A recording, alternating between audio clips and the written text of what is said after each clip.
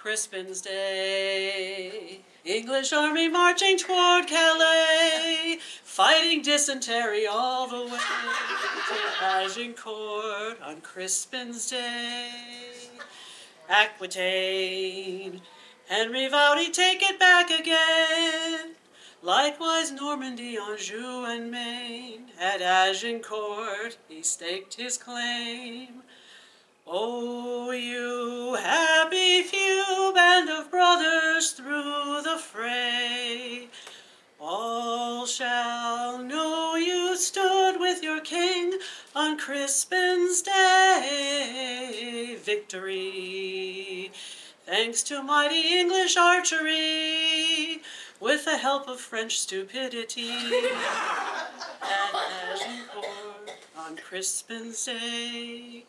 Deo gracias en